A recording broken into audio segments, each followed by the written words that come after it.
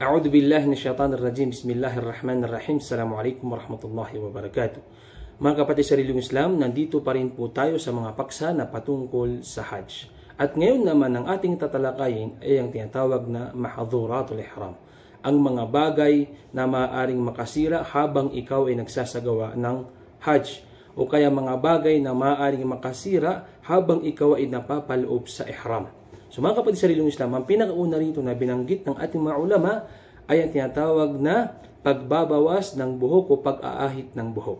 Kahit sa anong parte ng ating katawan. Sinabi ng Allah subhanahu wa ta'ala, wala tahliku ruusakum hatta yabalugha al-hadyu mahilla. Sa malapit itong kahulugan, wag na wag niyong babawasan ang inyong mga buhok o kaya wag na wag kayong mag-ahit sa inyong mga ulo habang ikaw ay napapaloob sa ihram o kaya habang uh, ikaw ay hindi pa nakakapag-katay uh, ng hayop.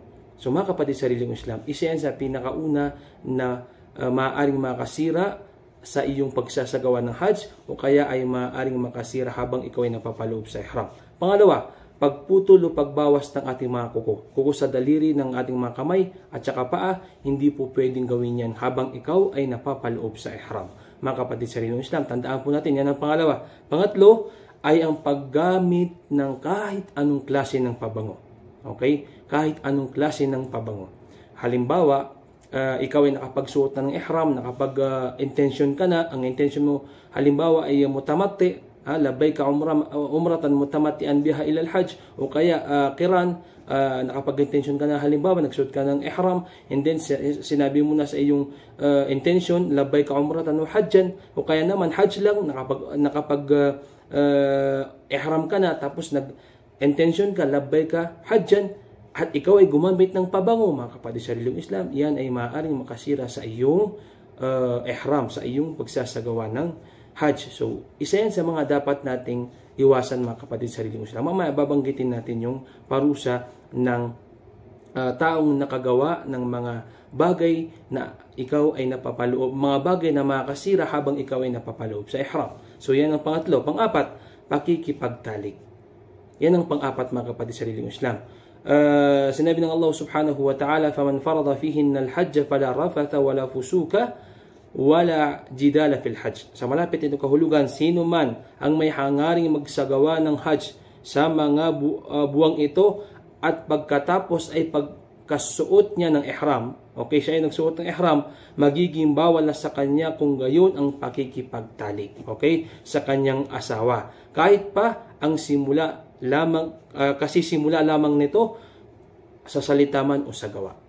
So yan ang sinabi ng Allah subhanahu wa ta'ala. Mga kapatid sa sariling Islam, pati pala ang pakikipagtalo o pakikipag, uh, uh, sabihin natin, pakikipag-debate uh, o kaya pakikipag-away, sabihin na natin, sa salita o sa gawa, bawal din po yan sa oras na ikaw ay napapaloob sa ihram. Okay? So nabanggit dito ng Allah subhanahu wa ta'ala, hindi, hindi ma maaaring makipagtalik ang uh, isang lalaki o isang babae sa kanyang asawa at sinabi na rin dito, fala rafata wala fusuka wala jidala fil hajj. Nabanggit din ito mga kapatid sa sariling Islam na hindi ka maaaring makipagtalo o makipagsigawan o makipag-away. So mga kapatid, isa, isa ito sa mga dapat nating pag-ingatan dahil marami sa mga hujjaj o marami sa mga taong nagsasagawa ng hajj kapag sila ay na, na, na dumating na sa uh, Magkatul Mukarrama, sa Mina, sa Muzdalipa, nagkakaroon ng iba't ibang mga pagsubok mula kay Allah subhanahu wa ta'ala. So minsan, hindi mo mapigilan ang iyong sarili. Anong nangyari?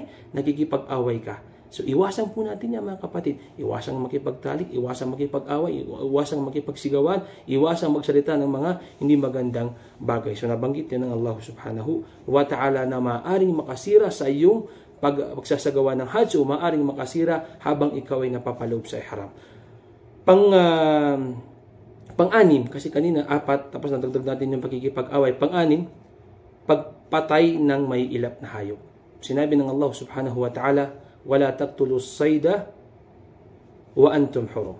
Okay? Huwag kayong pumatay ng mga may ilap na hayop habang kayo ay nasa kalagayan ng haram. Kung meron kayong pagkakataon na uh, uh, tabuyin ang mga hayop na maaring dumating o kaya ay uh, magperwisyo sa inyo, mga kapatid sa religion Islam, mas mainam na itaboy nyo sila kaysa patayin nyo sila dahil ito ay may mga uh, pawang parusa. So, wala taqtulu sayda wa antum hurum. Sinabi ng Allah subhanahu wa ta'ala. So, meron din mga bawal sa mga kalalakihan. Sa mga kalalakihan naman, bawal sa kanila yung habang ikaw ay na, na nakasuot ng uh, ihram, bawal ka magsuot ng damit o kaya sando. Nahihiya ka dahil nakaharam ka, bawal yun. Pantalon, jogging pants, short, sombrero, bawal din po yun. Yung mga tutob, bawal din po yun. Yung mga sinusuot ng mga Saudi, ng mga takiya, bawal din po yun. At saka yung pagsusuot ng medyas. Bawal din po yan kapag ikaw na isang lalaki ay nakapagsuot na ng ihram. Bawal pong suotin ang mga ganyang bagay o bawal gamitin ang mga ganyang bagay. Yan yung sa mga kalalakihan.